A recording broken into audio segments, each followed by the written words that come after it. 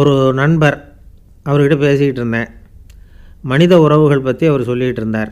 அமெரிக்காவில் தந்தை மகன் உறவு எப்படி இருக்குது அப்படிங்கிறத விளக்கறதுக்கு அவர் ஒரு கதையை சொன்னார். ஒரு அப்பா பகல் பூராவும் அலுவலகத்தில் வேலை. ஓடி ஆடி உழைச்சிக்கிட்டு களைச்சி போய் ராத்திரி பத்து மணிக்கு மேலே வீடு திரும்பினான். வீட்டு வாசலில் அவரோட மகன் காத்துக்கிட்டு இருக்கிறான். இன்னமும் தூங்கலை. அப்பாவை வாசல்லையே தடுத்து நிறுத்தி அப்பா உனக்கு சம்பளம் எவ்வளவு? அப்படின்னு கேட்குறான் ஏற்கனவே ஆஃபீஸ் பிரச்சனைகளால் அழுத்து போய் திரும்புகிற அப்பாவுக்கு கோவம் வந்துடுது என்னடா இப்படிலாம் கேளுன்னு உங்கள் அம்மா உனக்கு சொல்லி கொடுத்தாளா? அப்படின்னு சொல்லிட்டு உள்ளே போய் சட்டையை கட்டி மாட்டி விட்டு குளிச்சு விட்டு மறுபடியும் வெளியில் வந்து உடையை மாற்றுகிற சமயம். அப்போ மறுபடியும் மகன் உள்ளே வந்து நிற்கிறான் அவர் முன்னாடியே அப்பா உனக்கு எவ்வளவு சம்பளங்கிறான்? மறுபடியும். அப்பாவுக்கு எரிச்சல் அதிகமாகிட்டுது மணிக்கு இருபது டாலர் போதுமா? அப்படின்னார். அப்படின்னா எனக்கு ஒரு பத்து டாலர் தர முடியுமான்னா மகன்? இதுக்கு தான் என் சம்பளம் எவ்வளவுன்னு கேட்டியா? ரெண்டாம் வகுப்பு படிக்கிற உனக்கு எதுக்குடா பத்து டாலர்? அப்படின்னு கத்திவிட்டு தொலைக்காட்சி பெட்டியின் முன்னாடி போய் உட்காந்துக்கிட்டு ஏதோ நிகழ்ச்சியை பார்க்க ஆரம்பிச்சிட்டார். கொஞ்ச நேரம் கழித்து மறுபடியும் மகன் வந்து நிற்கிறான் அப்பா ப்ளீஸ் எனக்கு ஒரு பத்து டாலர் கொடுக்க முடியுமா? மகனுடைய கண்களில் கண்ணீர். என்னடா அவன் கண்ணீரை காட்டி காரியம் சாதிக்கலாம்னு பார்க்குறியா ஒரு காசு கூட கொடுக்க மாட்டான் போ அப்படின்னு விரட்டி விட்டான். மகன் கண்ணீரை தொடச்சிக்கிட்டே கண்ணை தொடச்சிக்கிட்டு பேசாமல் போய் படுத்துக்கிட்டானான் கொஞ்ச நேரம் ஆச்சு. அப்பாவோட கோபம் கொஞ்சம் கொஞ்சமாக குறைஞ்சிது. பிள்ளைகிட்ட கோபமாக கத்துனது தப்பு தாங்கிறது புரிஞ்சுது அவனுக்கு. எழுந்திரிச்சு போனான் படுக்கை இறக்கி போனான் மகனை பார்த்தான் அவன் தலையணையை கட்டி பிடிச்சிக்கிட்டு அழுதுகிட்டு இருக்கிறான். அவனை மெல்ல நெருங்கி அவங்ககிட்ட எதமாக பேசுகிறதுக்கு ஆரம்பித்தானான் எதுக்குடா உனக்கு பத்து டாலர்? பள்ளிக்கூடத்தில் கேட்டாங்களா? அப்படின்னு கேட்டானான் மகன் சொல்லியிருக்கான் இல்லை டாடி உனக்கு ஒரு மணி நேரம் சம்பளம் இருபது டாலர்னு சொன்னேன். நீ ஏற்கனவே எனக்கு கொடுத்த பாக்கெட் மணி பத்து டாலர் என்கிட்ட இருக்குது இப்போ நீ இன்னொரு பத்து டாலர் கொடுத்தீங்கன்னா அதையும் சேர்த்து இருபது டாலர் ஆகிடும் அந்த இருபது டாலரையும் நான் உனக்கு கொடுத்துருவேன். அப்படி கொடுத்தா நீ என் கூட ஒரு மணி நேரம் செலவழிப்ப இல்லையா? அதுக்காக தான் பத்து டாலர் கேட்டேன் அப்படின்னு சொன்னானாம். அந்த அப்பா கண்ணு கலங்கி போச்சான் ஆதரவோடு தன்னுடைய மகனை கட்டி பிடிச்சி அழ ஆரம்பிச்சிட்டாராம். இதுதான் வந்து நண்பர் சொன்ன கதை. அமெரிக்கா மட்டும் இல்லை உலகம் பூராவும் இன்றைக்கி மனித உறவுகள் இப்படி தான் மாறிட்டுருக்கு பெரியவர்கள் அறிவுரை என்ன தெரியுமா? உங்கள் குழந்தைகளிடமிருந்து குழந்தை பருவத்தை பிரித்து விடாதீர்கள் அப்படிங்கிறது தான் அதாவது இன்றைய குழந்தைகள் தங்கள் பிருந்தாவனத்தை இழந்து விடுகிறார்கள் அப்படிங்கிறது அவங்களுடைய கருத்து. இந்த நிலைக்கு நாம் காரணமாக இருந்துடக்கூடாது. குழந்தைகளோட விளையாடுவோம் குடும்பத்தோடு உறவாடுவோம் அப்படிங்கிறது தான் நம்முடைய நோக்கமாக இருக்கணும். இன்றைய உறவு முறைக்கு இன்னொரு உதாரணம் சொல்லுவாங்க. ஒருத்தர் வந்தாராம் அவர் பக்கத்தில் ஒரு சின்ன பையன். நாம் அவரை விசாரிக்கிறோம். யார் இந்த பையன்? அப்படின்னா அவர் சொல்கிறார் இவன் எனக்கு தூரத்து உறவு அப்படின்னாராம். இந்த தூரத்து உறவுன்னா எப்படின்னு இருக்கான். இதுக்கு அவன் சொல்லியிருக்கிறான் இவன் எங்கள் அப்பாவுக்கு எட்டாவது புள்ள அப்படின்னானான் ஒரு ஊரில் ஒரு பெரிய ஞானி இருந்தார். அவர் படுக்கையில் இருந்தார். இன்னும் கொஞ்ச நேரம்தான். அவர் இந்த உலகத்தில் இருக்க போகிறார் அவரை சுற்றி ஏகப்பட்ட கூட்டம். ஏற்கனவே அவருடைய உபதேசங்களை கேட்டவங்க பல பேர் வந்து அவரை சுற்றி நிற்கிறாங்க அந்த ஞானி மெதுவாக கண்ணை திறந்து பார்க்குறார். எல்லாரும் அவருடைய கடைசி வார்த்தையை கேட்கறதுக்காக அவளோட காத்துக்கிட்டு இருக்கிறாங்க. அந்த ஞானி மெதுவாக பேச ஆரம்பித்தார் நான் என்னுடைய வாழ்நாள் பூராவும் உங்களுக்கு நிறைய போதனைகள் சொல்லிக்கிட்டு இருக்கிறேன். பேரானந்தம் மகிழ்ச்சி தியானத்தன்மை இதை பற்றியெல்லாம் சொல்லியிருக்கிறேன். இப்போ நான் வேறு ஒரு கரைக்கு போய்கிட்டு இருக்கிறேன். நான் இனிமேல் இந்த கரையில் இருக்க மாட்டேன். நீங்கள் நான் சொன்னதையெல்லாம் கேட்டீங்க. ஆனால் எதையும் நீங்கள் வந்து நடைமுறைப்படுத்தி பார்க்கல. எல்லாம் கேட்டதோடு சரி. அதோடு விட்டுட்டீங்க. அப்புறம் அதை தள்ளி போட்டுக்கிட்டே வந்துட்டீங்க. மேலும் அதை தள்ளி போடுறதுல எந்த பிரயோஜனமும் கிடையாது. இப்போ நான் போய்கிட்டு இருக்கிறேன். உங்களில் யாராவது என்னோட வர்றதுக்கு தயாரா? அப்படின்னு கேட்டார். அவ்வளவுதான். யாரும் வாயை திறக்கல. ஒரே மௌனம். சத்தமே இல்லை. ஒருத்தர் ஒருத்தர் பார்த்துக்கிட்டே நிற்கிறாங்க அந்த கூட்டத்தில் ஒரு ஆள் அந்த ஞானி கூடவே நாற்பது வருஷத்துக்கு மேலே இருந்திருக்கிறான். அவனும் வாயை திறக்காமல் இன்னொருத்தன் முகத்தை பார்த்துக்கிட்டே நிற்கிறான் இந்த சமயத்தில் பின்னாடி நின்றுக்கிட்டு இருந்த ஒருத்தன் கையை தூக்கினான். ஞானி அவனை பார்த்தார். சரி ஒருத்தனுக்காவது நம்மோட வர்றதுக்கு தைரியம் இருக்குது அப்படின்னு நினச்சார். ஆனால் அந்த ஆள் என்ன சொன்னான் தெரியுமா? ஐயா நீங்கள் கேட்குறப்போ நான் உடனே எழுந்திருக்கல கையை மட்டும்தான் தூக்கினேன். என்ன காரணம்னா நான் எப்படி அடுத்த கரைக்கு வந்து சேர்றதுங்கிறத தெரிஞ்சுக்கிறதுக்காக தான் அந்த விவரத்தை மட்டும் இப்போ உங்ககிட்ட இருந்து நான் தெரிஞ்சுக்க ஆசைப்பட்றேன். ஏன்னா இப்போ நான் உங்கள் கூட வர்றதுக்கு தயாராக இல்லை. எவ்வளவோ காரியங்களை நான் இன்னும் இங்கே முடிக்க வேண்டியிருக்குது. வீட்டுக்கு ஒரு விருந்தினர் வந்திருக்கிறார். என்னுடைய இளைய மகனுக்கு கல்யாணம் பண்ணி வைக்கணும். அதனால் இன்றைக்கி உங்கள் கூட வர முடியாது.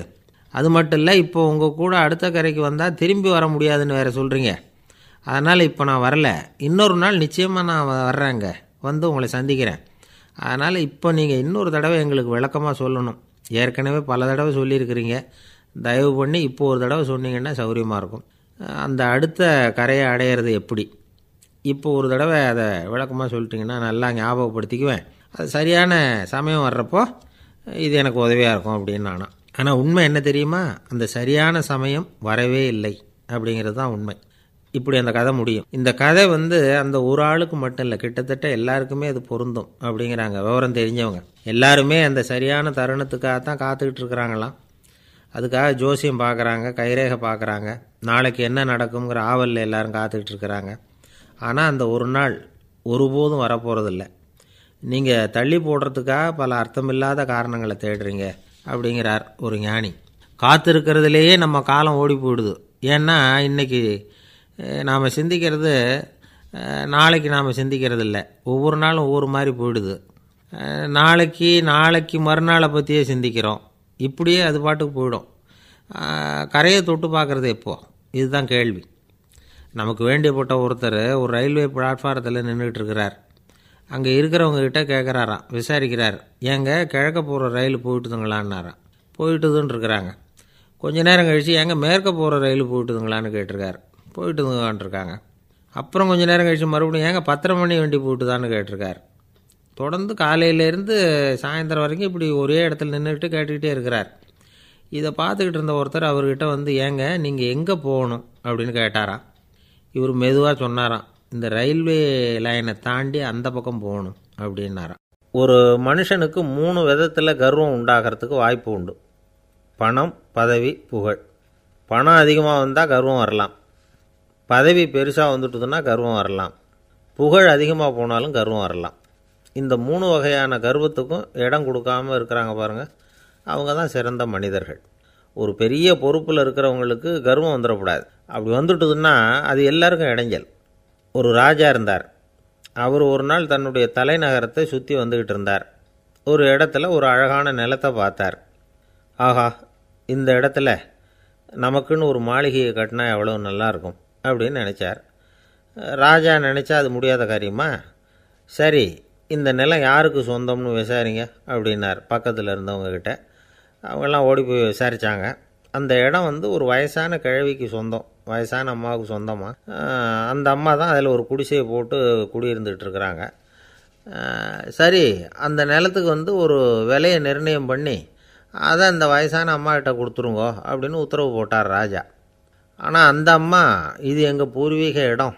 இதை விற்க மாட்டேன் அப்படின்னு சொல்லிவிட்டுது. சரி ரெண்டு பங்கு வேலை கொடுக்குறோம்னு சொல்லி பாருங்க அப்படின்னாங்க. அப்படியே சொன்னாங்க அரண்மனை ஆட்கள். அதுக்கும் சம்மதிக்கலை அந்த அம்மா.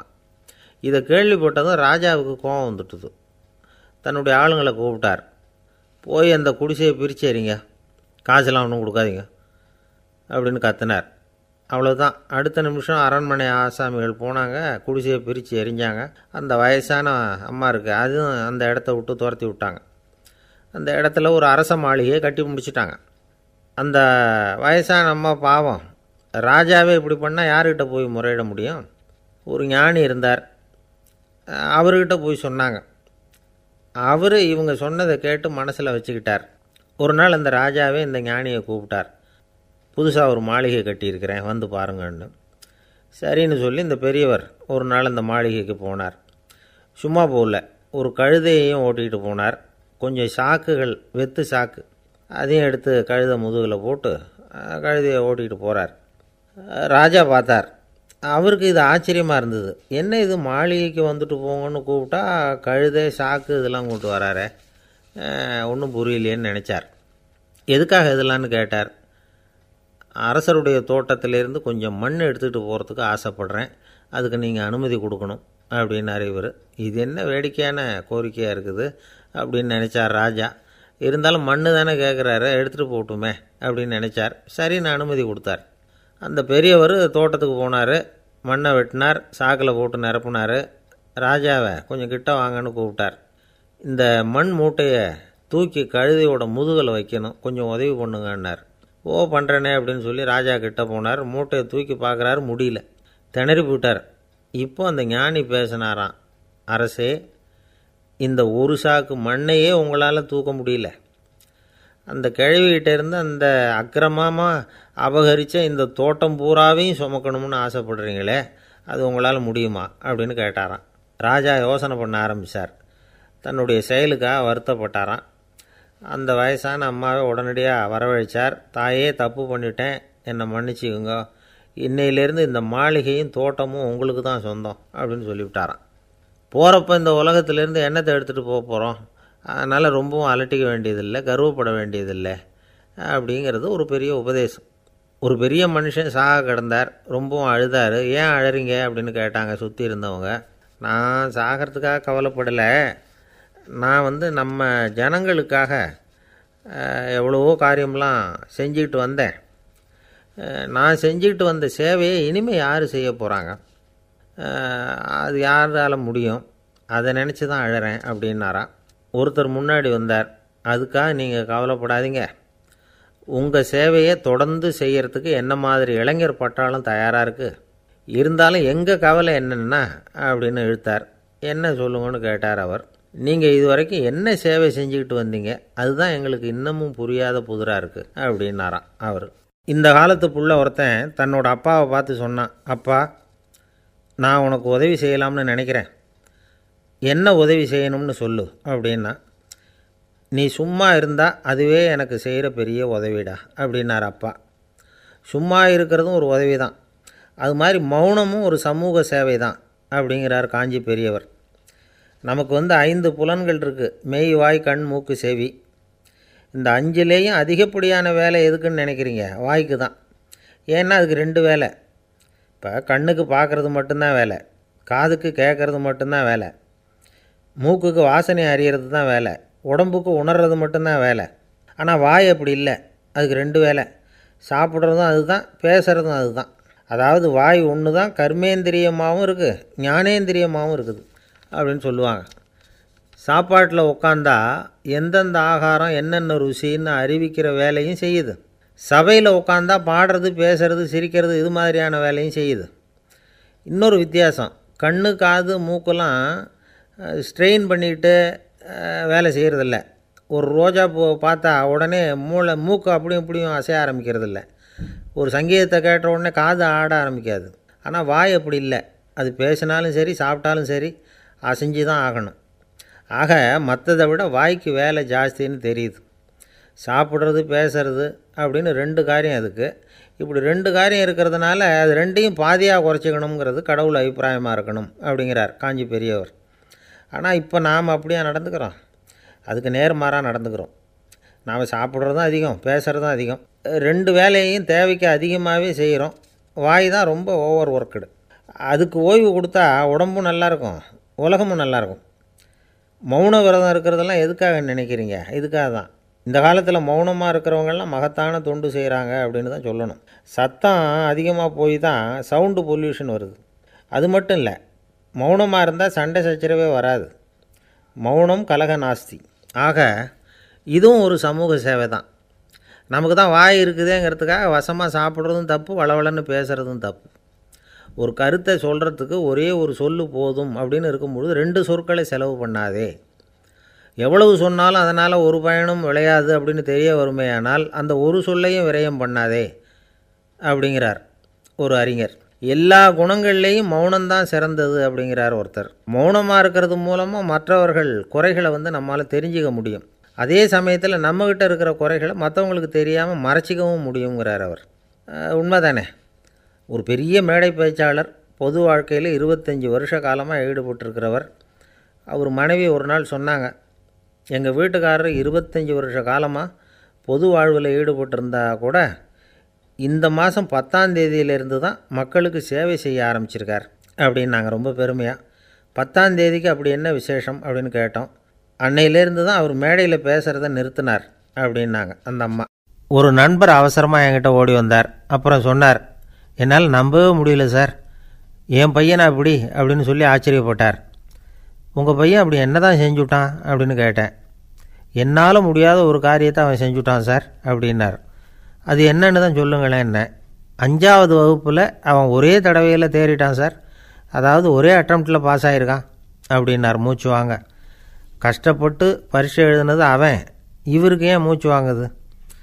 நம்மால் செய்ய முடியாத ஒரு காரியத்தை இன்னொருத்தர் செய்யும் பொழுது அது நமக்கு ஆச்சரியமாக இருக்குது. சர்க்கஸ் பார்க்குறோம் ஒருத்தர் அந்த இடத்துல தொங்குறார் அது நமக்கு ஆச்சரியம்.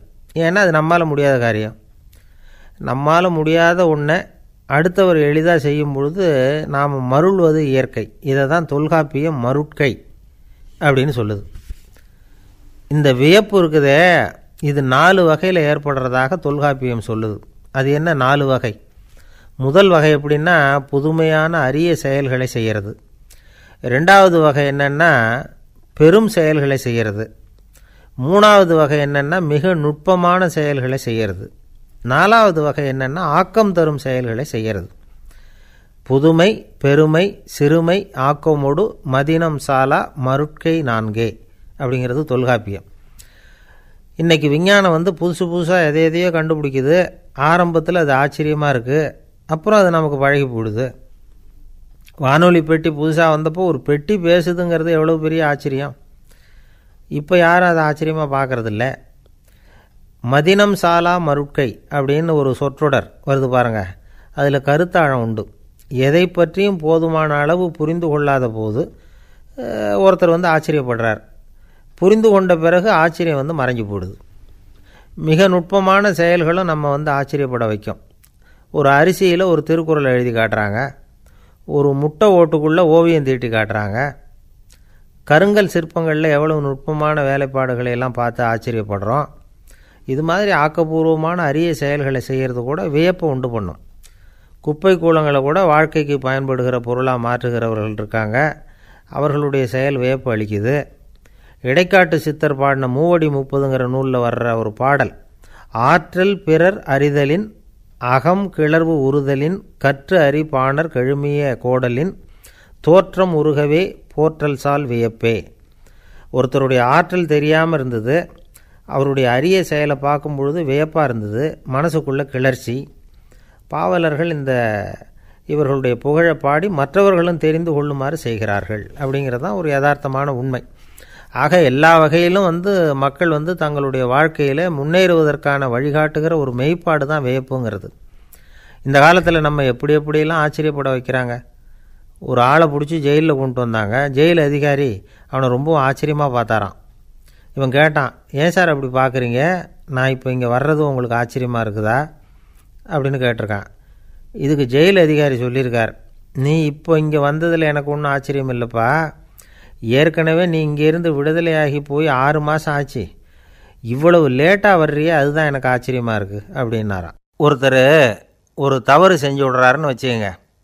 உடனே நீ செஞ்சது தவறு அப்படின்னு சொல்கிறது ஒரு வகை. அதுக்கு பதிலாக எது சரின்னு அவர் புரிந்து கொள்ள உதவி செய்கிறது இன்னொரு வகை. இந்த ரெண்டாவது வகை இருக்குது பாருங்கள் நிர்வாக இயலில் இது ரொம்ப முக்கியம். அலுவலகத்தில் வேலை பார்க்குற ஒருத்தர் முக்கியமாக தெரிஞ்சுக்க வேண்டியது என்ன தெரியுமா? சக ஊழியர்கள்கிட்ட எப்படி பழகணும்? மேலதிகாரிகள்கிட்ட எப்படி பழகணும்? தனக்கு கீழே வேலை செய்கிறவங்கக்கிட்ட எப்படி பழகணும்? வாடிக்கையாளர்கள்கிட்ட எப்படி பழகணும்? இவங்க எல்லார்கிட்டேயும் செம்மையான உறவை ஏற்படுத்திக்கிறது எப்படி? இதையெல்லாம் சொல்லிக் கொடுக்குற பாடம் தான் இன்டர் பர்சனல் ஸ்கில் திறமையான உறவு அப்படிங்கிறது. எந்த வேலையில் இருந்தாலும் சரி இந்த உறவுகளை வளர்க்கும் திறன் உள்ளவங்க சீக்கிரம் முன்னுக்கு வந்துடுறாங்க. மற்றவங்கக்கிட்ட உறவை பலப்படுத்திக்கிறது எப்படி அப்படின்னு தெரிஞ்சுக்கிட்டோம்னா எந்த ஒரு தடையையும் சுலபமாக தாண்டி செய்கிற தொழிலில் முன்னுக்கு வந்துடலாம். ஹார்வர்டு பல்கலைக்கழகத்தில் ஒரு கணக்கெடுப்பு பண்ணி பார்த்தாங்களாம். பார்க்குற வேலையில் எது மாதிரி குணாதிசயம் உள்ளவங்க வேகமாக முன்னுக்கு வர்றாங்க அப்படின்னு தெரிஞ்சுக்கிறதுக்காக இந்த கணக்கெடுப்பு. வெவ்வேறு துறையில் வேகமாக முன்னுக்கு வந்திருக்கிற பல பேரை சந்தித்து இந்த சர்வேயை நடத்தியிருக்கிறாங்க. அவங்க கண்டுபிடிச்சி சொல்லியிருக்கிற உண்மை என்ன தெரியுமா? ஒருத்தர் ஒரு வேலையில் இருந்தால் அது சம்பந்தப்பட்ட சப்ஜெக்ட் பற்றிய அறிவு முப்பத்தைந்து சதவீதம் இருந்தால் போதுமா? ஆனால் உறவுகளை வளர்க்கக்கூடிய திறன் இன்டர் பர்சனல் ஸ்கில்லு அறுபத்தைந்து சதவீதம் வேணும். இப்படி உள்ளவங்க சீக்கிரம் முன்னுக்கு வந்துடுறாங்களாம். அதனால் ஒருத்தருக்கு வேலை சரியாக புரியலைன்னா கூட விவரமாக மற்றவங்கக்கிட்ட பழகிறது எப்படின்னு புரிஞ்சால் போதும். அவர் முன்னுக்கு வந்துடலாம். அலுவலகங்களில் மட்டும் இல்லை எல்லா இடங்கள்லையும் இது ரொம்ப முக்கியம். வீட்டுக்குள்ளேயும் இது ரொம்ப முக்கியம். வீட்டுக்கு வெளியேயும் இது முக்கியம். அடுத்தவங்கக்கிட்ட பழகிறது எப்படிங்கிறத தெரிஞ்சிக்காதவன் வாழ்க்கையில் முன்னேற முடியாது. இன்றைக்கி ஆயுதங்களால் காயப்படுத்தி கொள்ளுகிறவர்களை விட வார்த்தைகளால் காயப்படுத்தி கொள்ளுகிறவர்கள் தான் அதிகம். பெரியவங்க என்ன சொல்கிறாங்க தெரியுமா? நீங்கள் இந்த பூமியில் பிறந்ததன் அர்த்தம் பூர்த்தி ஆகணும்னா அடுத்தவங்களுக்கு உதவி பண்ணுங்க. அடுத்தவங்களுக்கு உதவி செய்ய முடியாவிட்டால் கூட பரவாயில்லை. ஆனால் யாரையும் புண்படுத்தி விடாதீங்க அப்படின்னு சொல்கிறாங்க எனக்கு தெரிஞ்ச ஒருத்தர் ஒரு அலுவலகத்தில் வேலை பார்க்குறார். அவர் சொல்லுவார் எனக்கு இந்த இன்டர் பர்சனல் ஸ்கில் ரொம்ப அதிகம் சார் சக ஊழியர்கள்கிட்ட ரொம்ப சுமூகமாக நடந்துக்குவேன். என் கூட வேலை பார்க்குற ஒருத்தருக்கு ஏதாவது ஒரு கஷ்டம்னா அந்த சமயத்தில் அவர் செய்ய வேண்டிய வேலையை நான் செஞ்சுருவேன் சார் அப்படிம்பார். நான் அவர்கிட்ட சமீபத்தில் அப்படி ஏதாவது செஞ்சுருக்கீங்களா? அப்படின்னு கேட்டேன். செஞ்சுருக்கேன் சார் போன வாரம் புதன்கிழமை ஆஃபீஸில் என் பக்கத்து சீட்டுக்காரருக்கு வயிற்று வலி. உடனே நான் மெடிக்கல் லீவ் போட்டுவிட்டு எங்கள் வீட்டுக்கு போயிட்டேன் சார் அப்படின்னார். ஒரு அம்மா தெருவில் உட்காந்து என்னத்தையோ தேடிட்டு இருக்கிறாங்க. அந்த அம்மா ஒரு சுஃபி ஞானி. அவங்க பேர் என்னென்னா ரபியா அல் அடாவியா அந்த அம்மாவுக்கு கண் கூட தெளிவாக தெரியாது. அந்த பக்கமாக வந்த சில பேர் இவங்களுக்கு உதவி செய்கிறதுக்காக வந்தாங்க. என்ன தேடிட்டு இருக்கிறீங்க? அப்படின்னு கேட்டாங்க. இதுக்கு அந்த அம்மா அந்த கேள்வி அவ்வளோ முக்கியத்துவம் இல்லை. நான் தேடிட்டு இருக்கிறேன் உங்களால் முடிஞ்சால் எனக்கு உதவி பண்ணலாம் அப்படின்னாங்களாம் உதவி செய்ய வந்தவங்களுக்கு ஆச்சரியம். எதை தேடுறோங்கிறது தெரியாமல் இப்படி ஏன் நேரத்தை செலவழிக்கிறீங்க? நாங்கள் எப்படி உங்களுக்கு உதவ முடியும்? எங்களுக்கு ஒன்றும் புரியலையே அப்படின்ட்டுருக்காங்க சரி உங்களை திருப்தி பண்ணுறதுக்காக சொல்கிறேன் ஒரு குண்டூசி தொலைஞ்சி போச்சு அதை தேடுறேன் அப்படின்னாங்களாம் அந்த அம்மா. அதுக்கப்புறம் இவங்களும் சேர்ந்து தேட ஆரம்பிச்சிட்டாங்க. கொஞ்ச நேரம் ஆச்சு ஒன்றும் கிடைக்கல. உதவி செய்ய வந்தவங்களும் அழுத்து போட்டாங்க அப்புறம் கேட்டாங்க இதோ பாருங்கம்மா இது ரொம்பவும் பெரிய தெரு அகலமான தெரு. அதனால் குறிப்பாக நீங்கள் எந்த இடத்துல அந்த குண்டூசியை தொலைச்சிங்க அதை சொல்ல முடியுமான்னாங்களாம். இதுக்கு அந்த அம்மா நீங்கள் மறுபடியும் அர்த்தமில்லாத கேள்வியை கேட்குறீங்க உங்கள் கேள்விக்கும் நான் தேடுறதுக்கும் என்ன சம்மந்தம்னாங்களாம் இதை கேட்டதும் அவங்க ஒரு மாதிரி ஆயிட்டாங்க. என்னம்மா நீங்கள் பைத்தியம் மாதிரி பேசுகிறீங்க அப்படின்னாங்களாம். சரி உங்களை மறுபடியும் திருப்திப்படுத்துறதுக்காக சொல்கிறேன் அதை நான் வந்து எங்கள் வீட்டில் தொலைச்சுட்டேன் அப்படின்னாங்களாம். அப்புறம் எதுக்காக இங்கே வந்து தேடிட்டுருக்குறீங்க அப்படின்னு கேட்டிருக்காங்க. ஏன்னா இங்கே தான் வெளிச்சம் அதிகமாக இருக்குது. அங்கே வீட்டுக்குள்ளே இருட்டாக இருக்குது அதனால் இங்கே வந்து தேடுறேன். வெளிச்சம் உள்ள இடத்துல தானே தேட முடியும்? அப்படின்னாங்களாம் அந்த ஞானி. இந்த கதைக்கு என்ன அர்த்தங்கிறத பெரியவங்க சொல்கிறாங்க அதாவது இந்த தேடுதல்ங்கிறது ஒரு வியாதி. அது வந்து நம்ம வந்து சதா அலைய வைக்கும். பைத்தியமாக மாற்றுறதுக்கு முயற்சி பண்ணோம். ஒரு காலம் வந்து அது நிறைவு அடையவே அடையாது. வாழ்வுங்கிறது ஒரு புரிந்து கொள்ள முடியாத சதா இயங்கி கொண்டிருக்கிற ஒரு செயல். அதுக்கு ஆரம்பமும் இல்லை முடிவும் கிடையாது. எதையோ தேடணும் அப்படிங்கிற உந்துதல் நமக்குள்ளே இருக்கும். ஆனால் குறிப்பாக எதை தேடிட்டு இருக்கிறோம் அப்படிங்கிறது புரியாது. அப்படி ஏதாவது ஒன்றை தேடி அடைஞ்சிடுறோம்னு வச்சுக்கோங்க உடனே ஒரு அதிருப்தி வந்துடும் அதனால் வாழ்க்கைங்கிறது சலிப்பு நிறைந்தது அப்படிங்கிற எண்ணத்தை உண்டாக்கிக்கிறோம். ஒன்று அடைஞ்சதுக்கு அப்புறம் இன்னொன்று தேட ஆரம்பிச்சிருவோம். ஆக இந்த தேடல்ங்கிறது நாம் ஒன்று அடைஞ்சாலும் அடையாவிட்டாலும் தொடர்ந்து நடந்துக்கிட்டு தான் இருக்கும். இதுக்கு முடிவே கிடையாது. இந்த உண்மையை நாம் நல்லா புரிஞ்சுக்கணும் அப்படிங்கிறது பெரியவங்களுடைய கருத்து. ஏழையும் தேடுறான் பணக்காரனும் தேடுறான் நோயாளியும் தேடுறான் நோய் இல்லாதவனும் தேடுறான். அதிகாரம் உள்ளவனும் தேடுறான் அதிகாரம் இல்லாதவனும் தேடுறான் முட்டாளும் தேடுறான் அறிவாளியும் தேடுறான். ஆனால் யாரும் இதை தான் தேடி சாதிக்க போகிறோம் இதுதான் முடிவு அப்படின்னு திட்டவட்டமாக சொன்னதில்லை. ஒன்று அடைஞ்சதும் இன்னொன்று தேட ஆரம்பிச்சிடுறாங்க அவ்வளோதான் அதாவது உங்களின் தேடுபவர் உங்கள் உள்ளே தான் இருக்கிறார் அவரை தேடி கண்டுபிடியுங்கள். இதுதான் ஞானிகள் நமக்கு சொல்லுகிற ஒரு ஆலோசனை. நம்மால் ஒருத்தன் ஜெயிலில் இருந்தான். இன்னொரு கைதி அவனை பார்த்து கேட்டான் ஏன்பா உன்னை பார்க்குறதுக்கு வெளியிலேருந்து யாருமே இங்கே வர்றது இல்லையே உனக்கு சொந்தக்காரங்களே கிடையாதா? அப்படின்னு கேட்டானான் ஏன் இல்லை எனக்கு சொந்தக்காரங்க நிறைய பேர் உண்டு. அவங்க என்னை பார்க்க வராததுக்கு காரணம் வேறே அப்படின்ட்டுருக்கான் இவன். என்ன காரணம்னு கேட்டான் அவன். அதுக்கு இவன் சொன்னானான் அதுக்கு என்ன காரணம்னா அவங்க எல்லாரும் இங்கே உள்ளேயே இருக்கிறாங்க அப்படின்னானான் ஒரு சீன தேசத்து அரசர் இருந்தார். அவருக்கு வயசாயிட்டுது.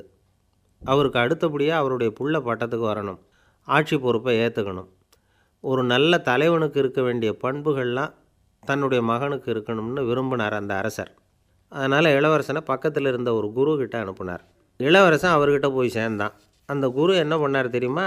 இவனை பார்த்து சொன்னார் இதை பாருப்பா நீ என்ன பண்ணுற இப்போவே பக்கத்தில் இருக்கிற காட்டுக்கு போ. நடு காட்டில் போய் ஒரு இடத்துல உட்காந்துக்கோ அங்கே என்னென்ன சத்தம்லாம் உன் காதில் விழுதுன்னு கவனித்து கேளு.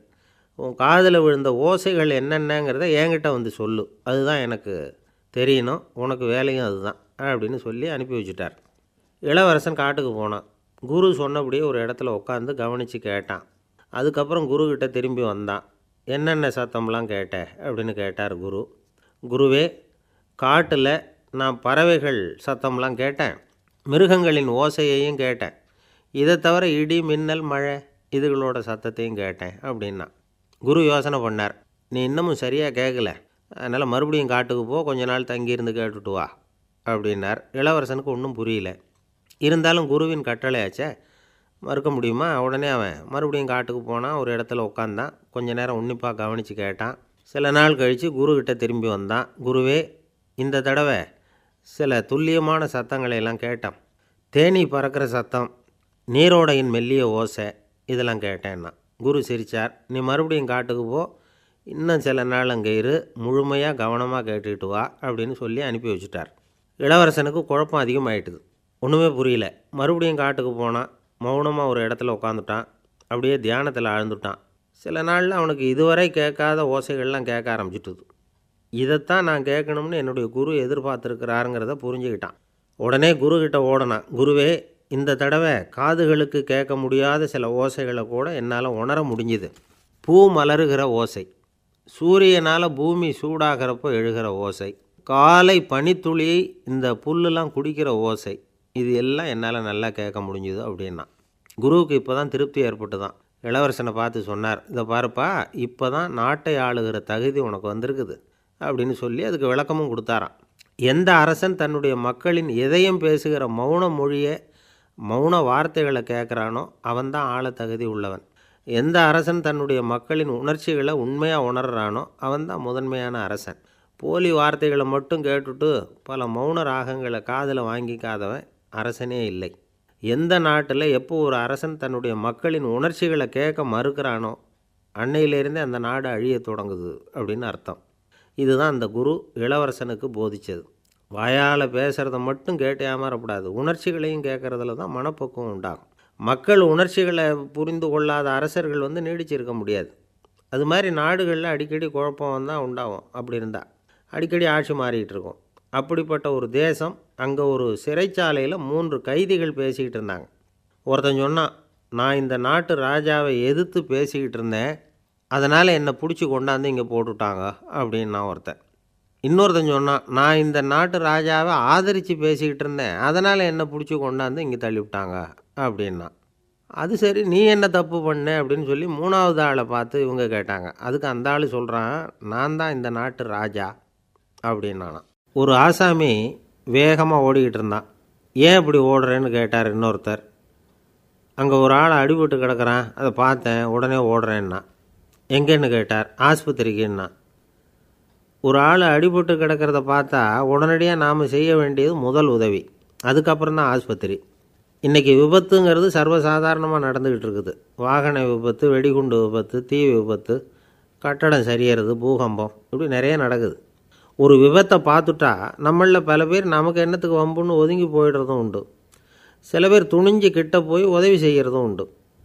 அப்படி உதவி செய்ய நினைக்கிறவங்களுக்கு உபயோகப்படுற தகவல் இது. விபத்தில் காயமடைஞ்சவங்கள மூணு பிரிவாக பிரிக்கலாமா? முதல் வகை கொஞ்சம் சீரியஸானது உயிருக்கு உடனே ஆபத்து தரக்கூடியது. மூளை காயம் முகம் கழுத்து காயங்கள் இருதயம் நுரையீரல் காயங்கள் வயத்தில் உள்ளுறுப்பு காயங்கள் அதிகப்படியான இரத்தப்போக்கு இதனால எல்லாம் பாதிக்கப்பட்டிருந்தால் அது முதல் வகை. அப்படின்னு நாமளே மனசுக்குள்ளே முடிவு பண்ணிக்கணும். இவங்களுக்கெல்லாம் உடனடியாக வந்து முதல் உதவி கொடுக்கணும். தாமதப்படுத்தாமல் ஆஸ்பத்திரிக்கு கொண்டுகிட்டு போயிடணும். இப்படி கொஞ்சம் எச்சரிக்கையாக நடந்துக்கிட்டால் அவங்களில் பல பேரை காப்பாற்றி போடலாம் ரெண்டாவது வகை எப்படின்னா முதல் உதவி விரைவாக கிடைச்சா உயிர் பிழைக்கக்கூடிய மார்பு காயங்கள் கைகால் எலும்பு முறிவு இடுப்பு முதுகெலும்பு காயம் சீரான இரத்த சேதம். இப்படிப்பட்டவங்களை வந்து ரெண்டாவது வகையாக பிரிக்கணும். ஆபத்தில்லாத சிராய்ப்புகள் சிறு காயங்கள் இரத்த உறைவுகள் இதனால் பாதிக்கப்படுறவங்க மூணாவது வகை. ஒருத்தர் தலையில் அடிபட்டு நினைவு விழுந்துட்டார்னு வச்சுங்க அவருக்கு வாந்தி வர்றதுனால புறையேறி மூச்சு அடைப்பு உண்டாகும். இப்படி ஆகாமல் இருக்கிறதுக்காக தலையை ஒரு பக்கமாக சாய்ச்சி வைக்கலாம். நாடி துடிப்பையும் இதய துடிப்பையும் தொட்டு பார்க்கணும். அது குறைஞ்சிருந்தாலும் சரி நின்று இருந்தாலும் சரி அவர் மார்பை வந்து நிமிஷத்துக்கு எண்பது தடவை உள்ளங்கையால் அழுத்தி இதய துடிப்பை வந்து மீட்கிறதுக்கு உதவி பண்ணணும். கழுத்தில் காயம்பட்டாலும் ஆபத்து அதிகம். கழுத்துக்கு அடியில் ஒரு துண்டை மடித்து வைக்கலாம். ரெண்டு பக்கமும் சின்ன தலையணை அல்லது துணி மடிப்புகளை வச்சு கழுத்தை அதிகமாக அசையாமல் பார்த்துக்கலாம். முதுகெலும்பு முறிஞ்சிருக்குமோ அப்படிங்கிற சந்தேகம் இருந்ததுன்னா அவரை அதிகமாக அசைய விடக்கூடாது. அதிகமாக அசைஞ்சால் தண்டு இடத்துல பாதிப்பு ஏற்பட்டு கை கால் விளங்காமல் போயிடும். அவரை ஒரு கனமான போர்வை இல்லைன்னா பாயில் படுக்க வச்சு நாலு பேர் மெதுவாக தூக்கி மருத்துவ உதவிக்கு அனுப்பி வைக்கலாம். கையெலும்பு முறிஞ்சிருந்தால் முறிஞ்ச பாகத்தை உடம்போட சேர்த்து அசையாமல் கட்டிப்புடலாம். கால் எலும்பு முறிஞ்சிருந்தால் மற்ற காலோட சேர்த்து கட்டிப்புடலாம். முறிஞ்ச பாகம் தொங்காமல் பார்த்துக்கணும். அப்போ தான் வீக்கம் உண்டாகாமல் இருக்கும். வெட்டு காயம் குண்டடிப்பட்ட காயம் இதிலெல்லாம் ரத்தப்போக்கு அதிகமாக இருக்கும். ரத்தம் வெளியேற வெளியேற ஆபத்து அதிகம். சுத்தமான துணியை பல மடிப்புகளை மடித்து காயத்தின் மேலே வச்சு அழுத்தமாக ஒரு பத்து நிமிஷம் பிடிச்சிக்கணும். ரத்தம் நின்ன உடனே காயத்துக்கு கட்டு போடலாம். சில சமயம் காயம்பட்ட பாகத்தை உயரமாக தூக்கி பிடிச்சிக்கிட்டா தான் ரத்த கசிவு நிற்கும் இந்த விவரங்களையெல்லாம் கொஞ்சம் மனசில் வாங்கி வச்சுக்கிட்டோம்னா சமயத்தில் உதவும். ஏன்னா இந்த காலத்தில் விபத்து வந்து எந்த ரூபத்தில் எப்போ வரும்னு யூகிக்கவே முடியல. நண்பர் ஒருத்தர் சொன்னார் நேற்றுக்கு பாருங்கள் சார் என் கண்ணு முன்னாடியே ஒரு சின்ன விபத்து நடந்ததுன்னார். என்னன்னு விசாரித்தோம் ஒரு பஸ்ஸில் வந்துக்கிட்டு இருந்தேன். அந்த பஸ்ஸில் பின்பக்கம் படி ஓரமாக நின்றுக்கிட்டு இருந்த ஒருத்தர் ரோட்டில் விழுந்துட்டார். டிரைவர் அதை கவனிக்கலை. நிறுத்தாமல் அவர் பாட்டுக்கு போகிறாருனார் கண்டக்டர் உடனே விசில் கொடுத்து பஸ்ஸை நிறுத்த வேண்டியது தானே அப்படின்னோம். அதுதான் சார் முடியாமல் போச்சுன்னார் அவர். ஏன்னு கேட்டாங்க. தவறி கீழே விழுந்ததே அந்த கண்டக்டர் தான் சார் அப்படிங்கிறார்.